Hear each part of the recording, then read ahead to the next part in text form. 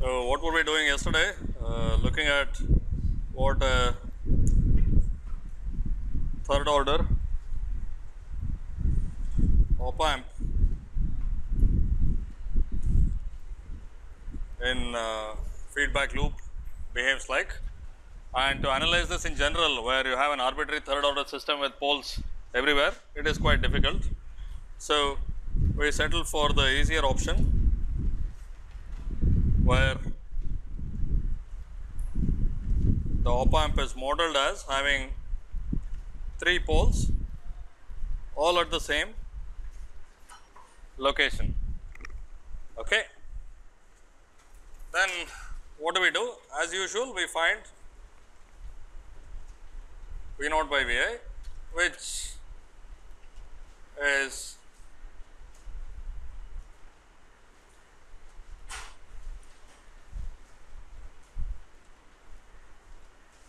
that much. Now, the question is can this have any roots in the right half plane or can this closed loop system be unstable? So, it will be unstable if the poles are not strictly in the left half plane, if it is on the imaginary axis or uh, in the right half plane.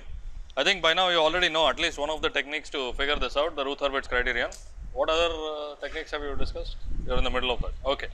So, with that also you will find the answer that yes, it can have, although all coefficients are positive, the third, uh, for a third order system that does not guarantee stability. For a second order system it does, right. All coefficients of S are positive here, but you do find that uh, for some values of uh, A naught by k, it will become unstable. And what is that boundary?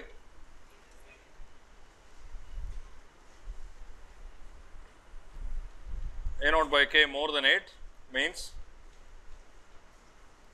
unstable system. Okay? Huh? Ah, greater than or equal to, yeah, that's correct. And how did I do it? How did we do it? If you didn't know Routh Hurwitz, you could still check one particular case where the roots are on the imaginary axis. Okay? So, if you assume that if you call this denominator d of s, d of uh, s is 0 for some s equals j omega naught, you will get two equations, one that says the real part is 0, the other that says the imaginary part is 0. Okay? From those two you can find the conditions, right. You will find that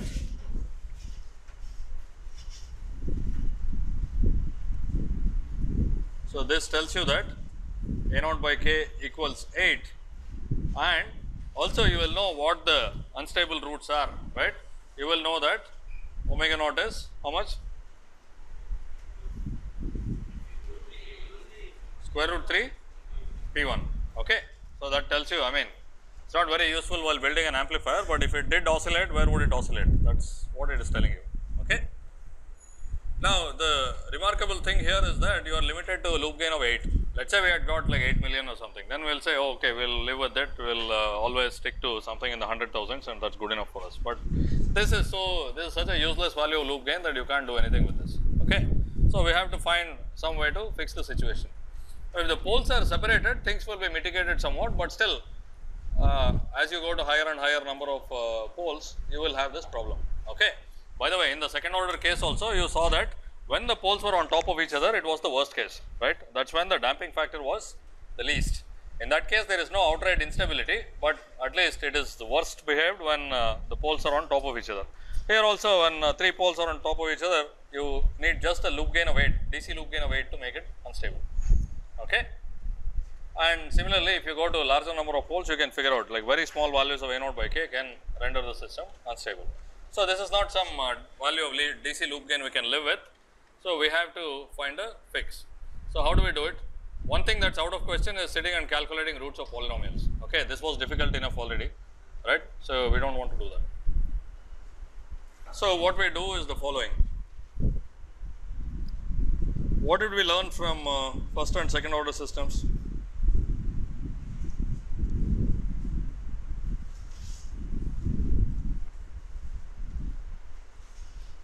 First order system is unconditionally stable. Okay. This is the phase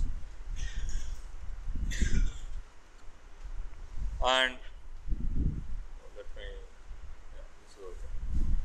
The second order system is well behaved if it behaves more or less like the first order system. Right. So, something like that was well behaved.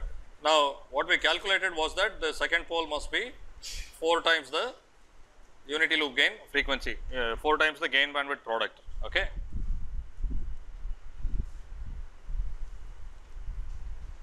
In fact, I will call this omega u loop and P 2 must be 4 times omega u loop. Okay, again it does not have to be exactly 4 times, but you can clearly see that it can't be less than omega u loop. Okay, that will give a very small damping factor. So, you expect that this pole P 2 has to be beyond the unity loop gain frequency. So, at least equal to the unity loop gain frequency and beyond that. And what does the phase response look like in that case?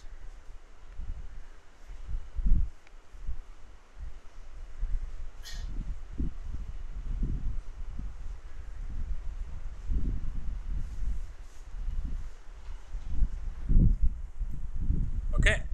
So, it will uh, start from 0, uh, go to minus 90 degrees and then finally end up at minus 180 degrees. Okay. Huh? Oh, this is the plot of the loop gain. Sorry, actually, I should have made this uh, A naught by K. Thanks. So, these are the loop gain magnitude and phase plots. Okay.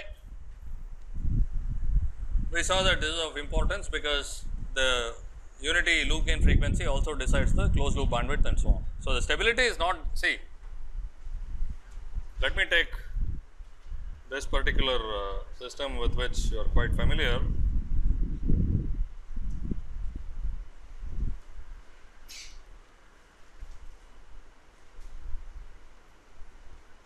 What is y by u for this system? g by 1 plus gh. Okay. So, let us say I had another input here u 1, what would be y by u 1? I will add it here. What would it be? Huh? No, I do not even want the contribution of u, I want only the contribution of u 1, what is it? Yeah, it is minus d h by 1 plus d h, the way I have it. So, this is minus d h by 1 plus gh. Let us say I take an output here y 1, what would be y 1 by u?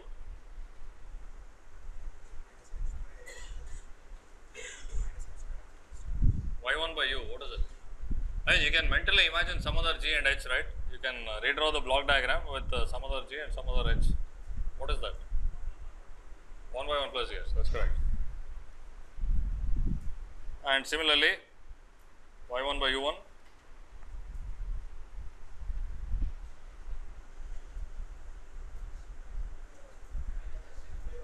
yeah minus h 1 plus h okay. So the exact transfer function depends on uh, where you apply the input and where you take the output always. Okay. And this is true in circuits also. Uh, the zeros of the system will depend on where you apply the input and where you take the output. But the poles don't. The characteristic of the system itself doesn't. And here you can kind of see that uh, 1 plus gh is in the denominator everywhere. Okay.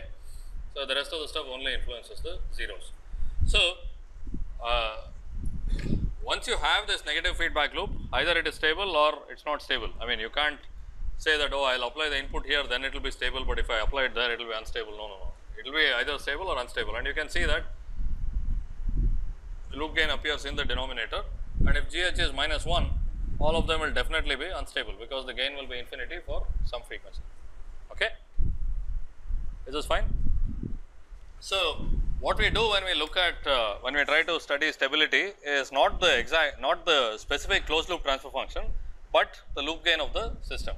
Okay? Because you can apply the input anywhere take the output elsewhere you will get a different transfer function but the loop gain will not change as long as you have not changed the feedback loop itself. Okay? This fine? Okay then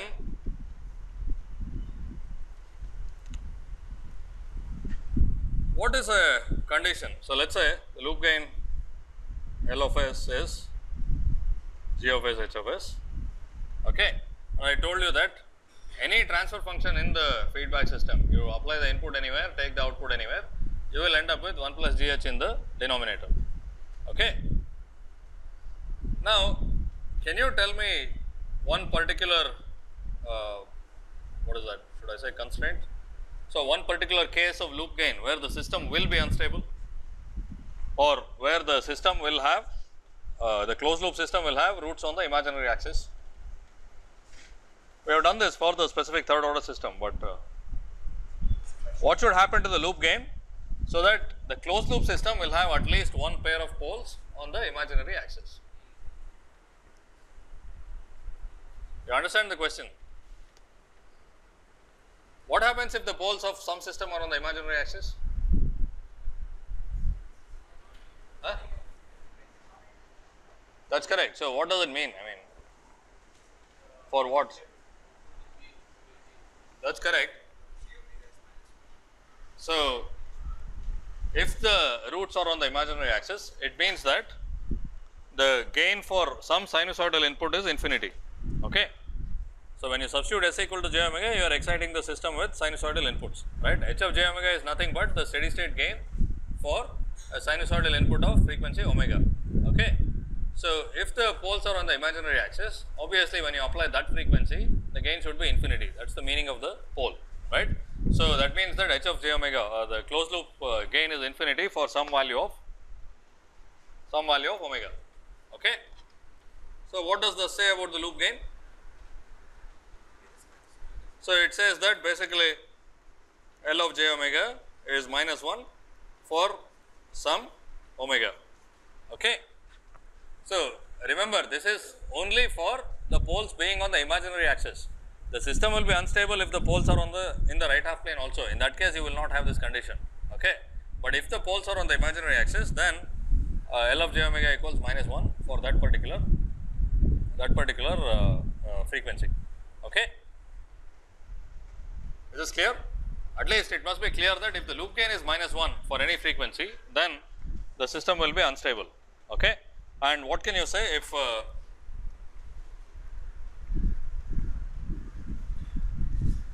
L of s is minus 1 for s equals j omega naught. First of all, it means that the system is unstable and secondly, it has roots at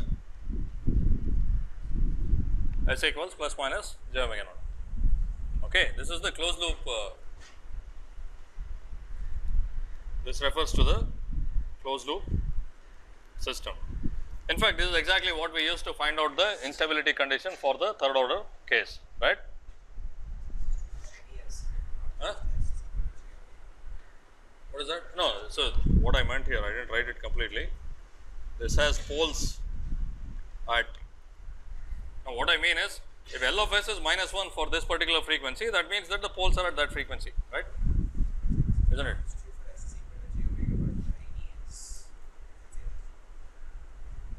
If L of s is minus 1 for any s,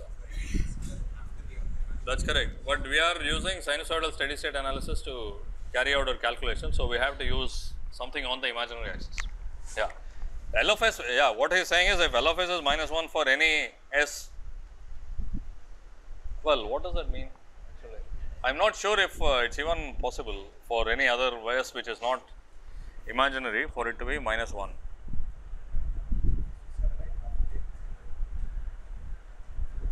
No, no, that's yeah. I mean that does that's not correct actually, because it will be. I mean, you can always find some s for which it will be the denominator will be zero, right? That is just the pole of the system. If the pole happens to be in the left half plane, then it's a stable system. If it's on the imaginary axis or the right half plane, it's an unstable system. Okay. Oh yeah. Any? What will blow up? The natural response will blow up. Yeah, that's good. Yeah. No, no. See, if you have a transfer function h of s, you will be able to find some s for which this will be infinity, right? That's the pole. Okay, but that doesn't mean it's unstable. Okay. So, if that value, if that pole lies in the left half plane strictly it is stable. If it is in on the imaginary axis or the right half plane it will be unstable. Okay. So, the inter our uh, so this this means that there are roots on the imaginary axis and this is definitely an unstable case. And also this is something that we can either simulate or measure using sinusoidal steady state analysis or phasor analysis. Okay. This is how we calculated the instability of third order system, right. So, the point here is L of s shouldn't become minus 1 for any sinusoidal input, any s equal to j omega whatever. Okay. So, roughly speaking the rule for stability. By the way, all this is well founded, these things can be derived from theory, but I am not doing it here because it will take too much time. So, I will give you some uh, rules by which you can ensure that ensure stability in a higher order system. But in control systems you will see something what is known as a Nyquist plot. Okay. So, all of what I am saying can be derived from that. Okay. So, you know that I mean how many of you have taken complex analysis? Yeah. So, you know there are all kinds of uh, interesting theorems right. So, if the poles are here and if you go around the circle around that then something else happens and you can do all kinds of mapping between different complex planes and so on. So, this it turns out that uh, I will not go into the details of this.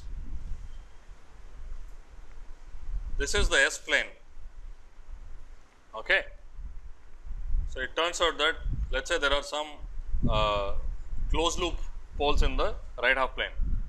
This can be figured out without trying to calculate the closed loop transfer function which is difficult right. Once you calculate the closed loop transfer function factorizing it finding the roots all that is very difficult. It turns out that you do not even have to calculate the closed loop transfer function, you just have to plot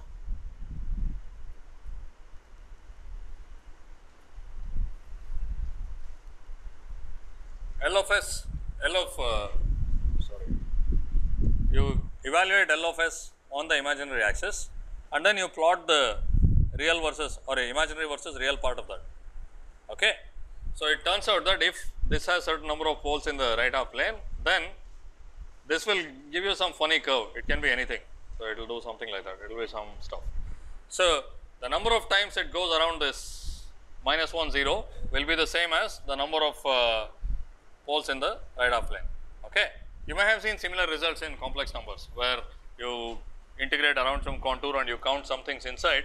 This will make it lot easier to carry out the integration than the brute force integration, right. So, if you have done this complex analysis, you will know this, but this can be derived even uh, otherwise. So, you will be able to see this in uh, control system stuff. So, I will not go into all of this, but what you see here is the importance of minus 1 0 and that you can intuitively understand, right. If the loop gain becomes minus 1 for some uh, sinusoid, it will be unstable. So, essentially the goal of your, your uh, I mean the stability criterion simply says that you keep away from minus 1 that is all. You keep the loop gain away from minus 1 right. Is this okay?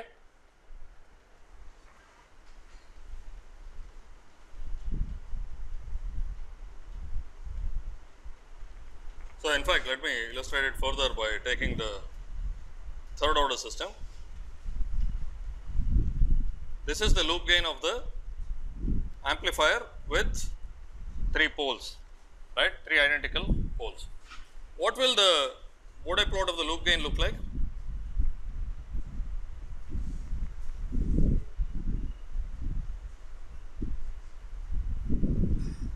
Huh?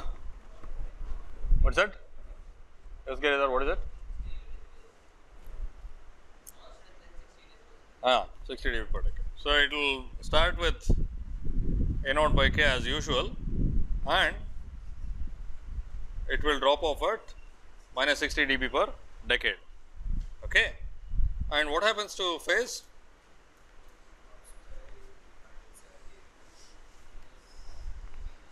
What is the phase lag at P 1?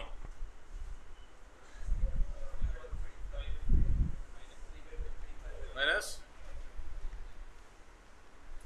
minus 3 pi by 4 minus uh, minus 3 pi by 4 right?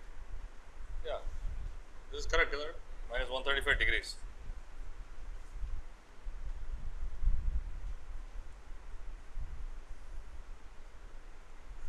So it does. By the way let me also show the second order stuff. This is minus 40 and the phase minus 180. Okay. Now, first of all, you can see that in the second order case, can the loop gain ever be minus 1? In the second order case, can you have a loop gain of minus 1? Yes or no? Why not? In the second order case, in the blue case, can I have a loop gain of minus 1? This is the magnitude and phase of the loop gain. Can I or can I not have it? No, no, no, no. This is the loop gain. Just look at it and tell me can the loop gain be minus 1? Why not? This is not the closed loop transfer function man, this is the loop gain. Can this value be minus 1? Huh?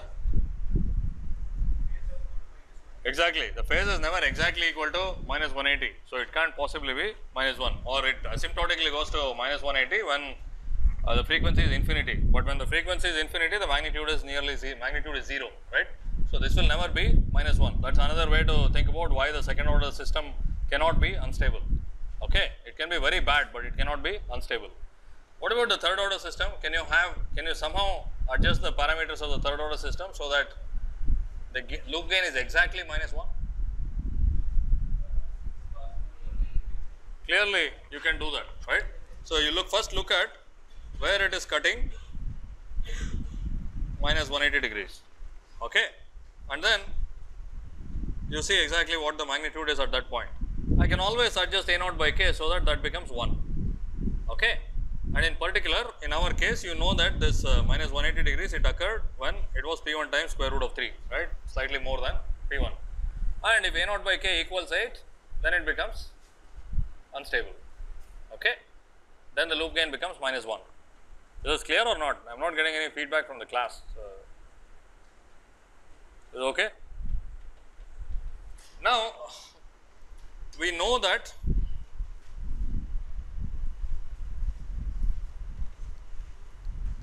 it is unstable if A naught by k equals 8.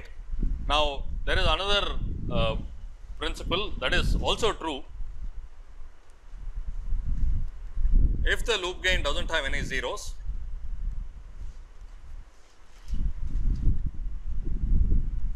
then if you find some value of A naught by k for which it is unstable, then for all higher values of A naught by k, it will also be unstable. Okay. So, this is really the upper limit. This again can be derived uh, properly. Okay. So, this is true by the way only if the loop gain does not have any zeros. So, we will kind of uh, hand wave that thing and once in a while use it when it has zeros at very high frequencies. But if the loop gain does not have any zeros then it is unstable for all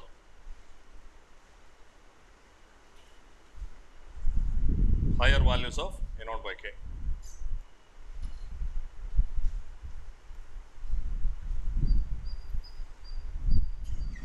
Okay. What we are trying to do is to bypass this business of calculating anything involving polynomials. That is very difficult, that is just not possible. Okay. But uh, sinusoidal steady state response is easy to calculate, measure, you can go to the lab, you just stick a sinusoid, you do not care whether it is uh, 5th order or 10th order, you can measure it, but calculating it, I mean calculating the polynomial stuff is very complicated. Okay. So, we will see how to do that. So, like I said,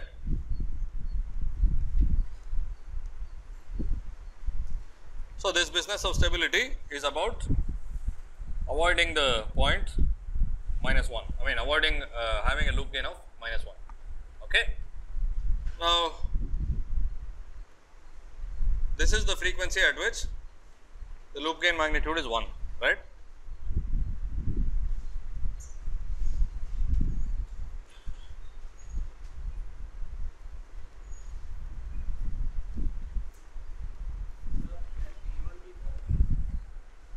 P1 can be complex, yeah. but P1 when you have complex uh, poles, you can do the analysis, but Bode plot is not a good way of uh, approximating the characteristics. Because when P1 is itself complex, you could have peaking and so on. This asymptotic straight line stuff is a good approximation only when you have real poles and zeros. But that is only about the this kind of plot. I mean you can always plot it exactly and do everything that is fine.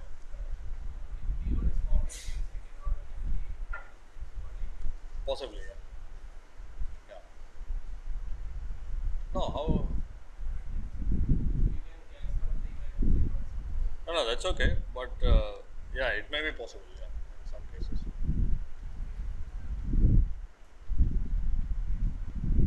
Although, I mean, for the kind of model that we have assumed, I don't think it's possible. So, this corresponds to this is the frequency at which the magnitude is 1. Okay. And if the phase was here okay, at this red dot, then it would correspond to loop gain of minus 1. Okay.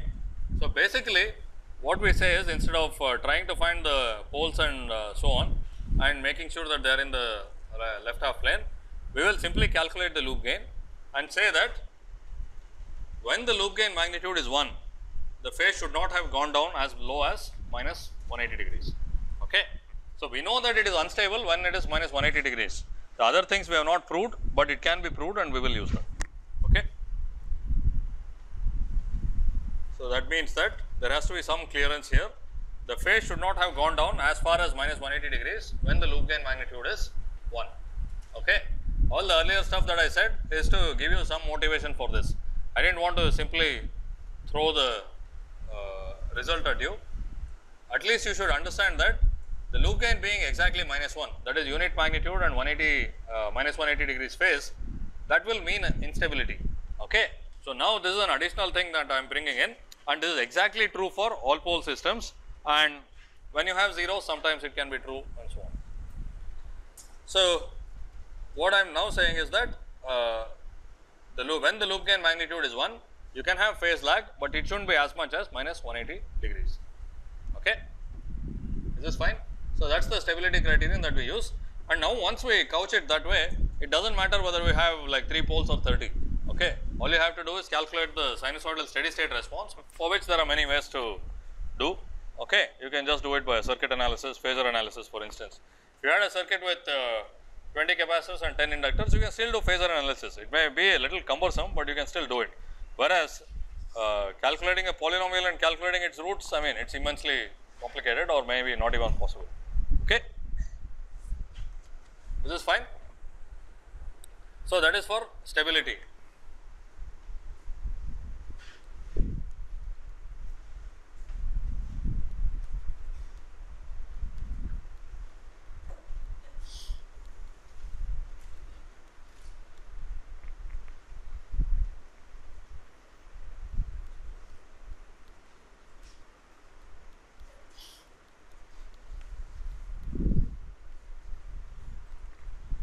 this if I put it in words.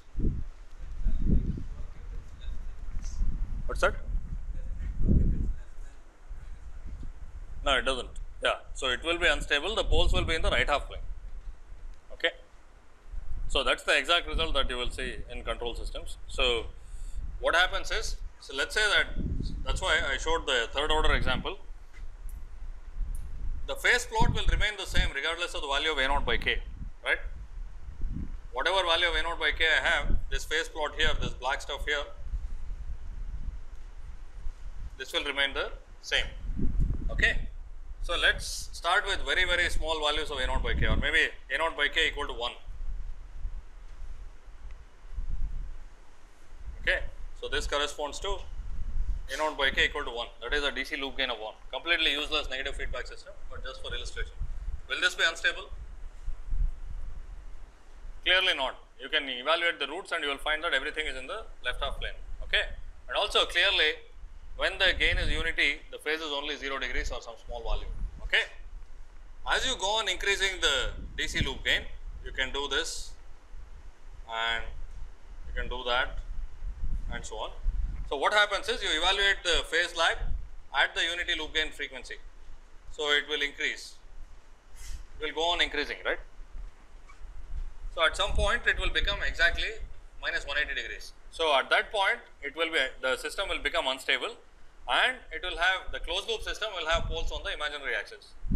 As you increase the DC loop gain beyond that, that is the condition that you mentioned. So, at the unity loop gain frequency, the phase lag will be more negative than minus 180 degrees. At that point, it turns out that the, pole, the poles of the closed loop systems will be in the right half plane. Okay. So, it will be unstable and that result is exact for uh, all pole systems. When the loop gain has only poles and no zeros, that result is exact. Okay. Any questions about this? So, what I tried to show is having loop gain of minus 1 is of course dangerous because it will mean outright instability. So, you have to keep away from that point and what do you mean by keeping away? When the loop gain magnitude becomes 1, the phase lag should not have been as much as minus 180, as much as 180 degrees. Okay.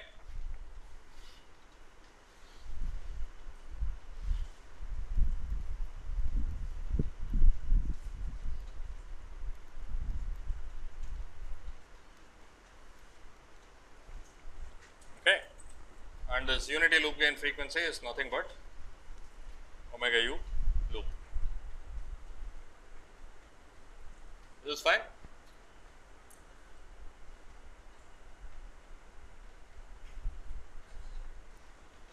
Now, like I have been uh, saying earlier, we not only want stability that is uh, we want the poles to be in the left half plane that is for sure.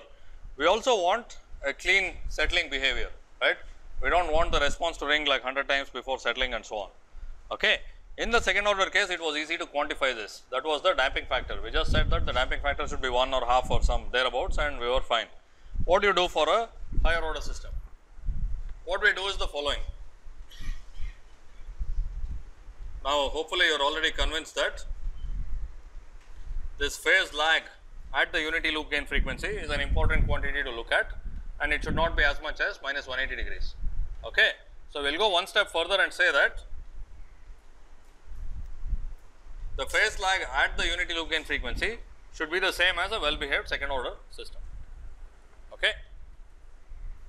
So, I see that you are all like uh, super bored. So, please calculate the phase lag at the unity loop gain frequency for a second order system with damping factor of half. Okay. So, phase lag of the loop gain L of j omega. For a second order system. Whose closed loop damping factor. You can do it for two different values. Zeta equal to 1 and zeta equal to half. Okay so please calculate at the unity loop gain frequency what will be the phase lag okay? And you can make the usual approximation that a naught by k is much more than 1 and so on. Okay?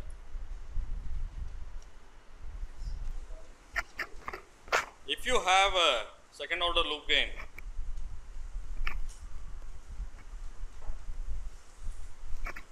What is the phase lag of this?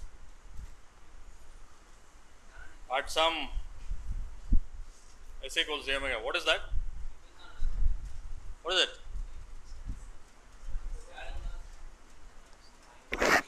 Minus tan inverse. Tan inverse of what? Omega by P1 minus tan inverse omega by P2. So, this is just what you have to calculate that is all with omega being the unity loop gain frequency.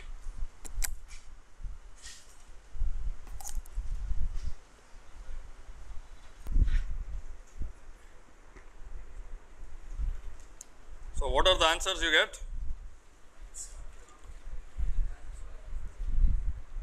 Loop gain is A naught by k 1 plus S by P1 1 plus S by P2 okay. And we had the expression for the damping factor earlier what was it half square root P1 by P2 so square root P2 by P1 times square root of k by A naught.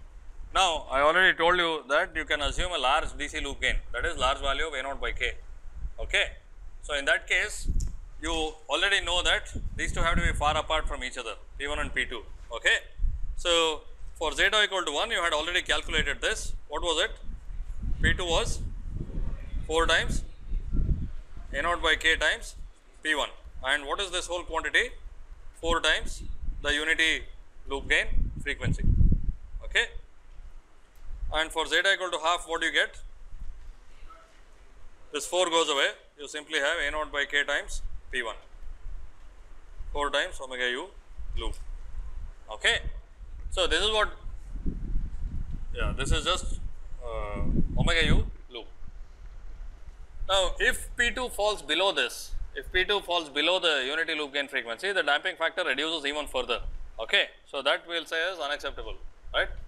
So that's not a then you will have a severely underdamped system and you don't want that. Okay? So that's why i said this uh, extra pole should be beyond the unity loop gain frequency. Okay? So now you can calculate what is the phase lag of this? Minus tan inverse omega u loop by p1 minus tan inverse omega u loop by p2 this is the phase lag at the unity loop gain frequency. Okay? Again assuming that a naught by k was large to begin with what will be this number? Minus pi by 2 okay?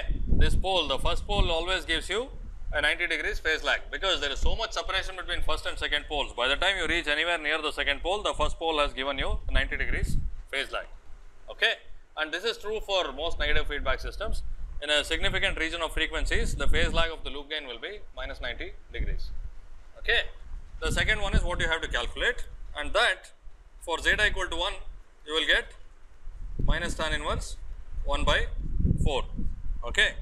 And how much is that? 14 degrees or so. So the total phase lag is how much is the total phase lag? Minus 104 degrees. And for this case what do you get? Minus 135 degrees. Okay so roughly speaking this is the kind of phase lag that you can tolerate. Okay you can have a phase lag of 91 degrees also right? That will be fine. That is just beyond 90 but what you will see later is that the expense is enormous. Okay you will have to end up dissipating a lot of power in the circuit to be able to achieve that. Okay that's basically become almost like a first order system right? If you have only minus 90 degrees that's first order. If you make the second order such that it is 91 degrees that means it's very very close to first order. You don't need to go to that extremes it's okay if the phase lag is somewhere between these right and in fact the number that we quote is not this but the complement of that as I have been saying many times, uh, the first thing that you learn in control system is how to see whether it is stable or not. But if it is just inside the left half plane, it will be stable. But for a circuit design or for any design, you need to know how stable it is. And this is necessarily a vague criterion, right? This is something like margin. This is a stability margin that you have. So, what we use to characterize stability margin is this difference between phase lag and minus 180 degrees and that is known as the phase margin okay and it's a appropriate term that means that if the if there was extra phase lag inside the feedback loop equal to this much it would become unstable okay so a second order system with a damping factor of 1 has a phase margin of how much what is the phase margin 76 degrees right so that means that if there is there is like 76 more degrees of phase shift somehow in the loop, it will become unstable and it is not very likely. 76 degrees is a lot. And for damping factor 1, we serve 45 degrees. So, roughly speaking, somewhere between these two is what you take. And one number that is frequently quoted is 60 degrees. Again, everything is dependent on the context, right? But if you are given no further information and asked to design a negative feedback system, you design it for 60 degrees phase margin and move on, right? Because there are useful uh, systems which I have also designed circuits which will have phase margin of 30 degrees. That is also okay. It is slightly more under damped, but that's fine. But you can get a sense that a phase margin of 1 degrees is not okay, right? At the unity loop gain frequency, you will have 179 degrees of phase shift. You have one more degree, you blow on the circuit and it will start oscillating. So, the margin is basically what it is, right? And any definition of margin always has some sense of uh, vagueness to it because it's also a matter of personal taste. I'm sure like uh, many of you leave from here uh, 2 hours before the train leaves central and maybe some of you leave like 45 minutes before. So, it's up to you, the margin is up to you, but uh, Of course, it has its implications. If you do this like a million times, the ones who live 45, 45 minutes before will miss the train. So, similarly, if you go on designing feedback uh, systems with 20 degrees of phase margin, some of them will give you serious trouble. Okay? Or it could be that you design it for 25 degree, uh, I mean uh, 20 degrees of phase margin at room temperature, you heat it up or cool it down, at some point it can oscillate and so on, because everything varies with temperature also. Okay? So, uh, that's there is some uncertainty, I mean some uh, vagueness about the margin or rather something that is context dependent about the margin, but once you have the context you know what the phase margin is and you can uh, you can design it for that. Okay?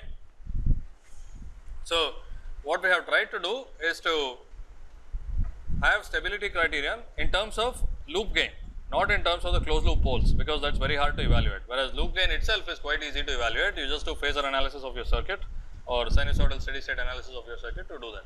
And how do you ascertain stability? We said that, I mean, we kind of uh, progressed from first to second to third order and saw that first order system unconditionally stable, second order system unconditionally stable but well behaved if it behaves more or less like a first order system where the loop gain is significant. Once the loop gain falls below 1, anything can happen and you will be fine. Okay. And third order also, now we no longer have the, for second order we even calculated the exact result. For third order we do not even bother.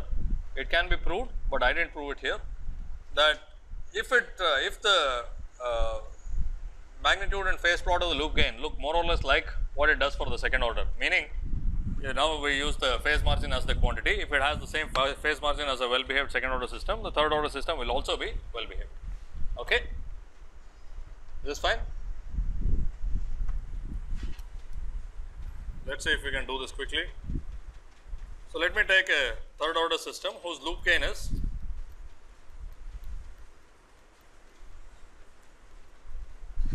I take one pole P1 and two other identical poles again for convenience. Okay. So, what I want to find out now is location of P2 such that the phase margin is 74 degrees. Okay. This is not difficult. It may be it may take longer to read it than to calculate it, but uh, you understand what I am saying?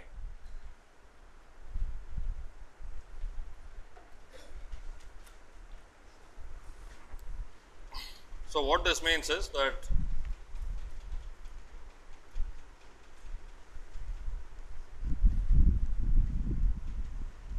so let me overlay the loop gain of a third order system, it could be something like that. Okay. And the phase also will do something of the sort and it will fall off to minus 270 degrees. What I want to know is where should this pole be such that the phase lag at the unity loop gain frequency is minus 104 degrees or phase margin is 74 degrees. A naught P1 by? Yeah, yeah, you please calculate the number and tell me. 7 times, why? I mean, why 7? I mean, you could have made a better guess than that. Is that right?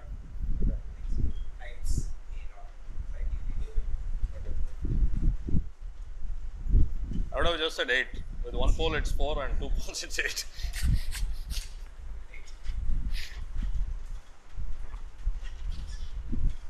so, again, uh, this again we will discuss. The unity loop gain frequency of this will also be A naught by k times P 1, okay, because the poles have to occur well beyond the unity loop gain frequency. So, this will contribute 90 degrees and these two together will have to contribute 14 degrees. So, each one should contribute 7 degrees. Okay. From that you can no phase margin is 76 degrees sorry yeah it's, uh, it's the same as the damping factor that is why I think otherwise you will get 8.1 probably. okay please think about this we will continue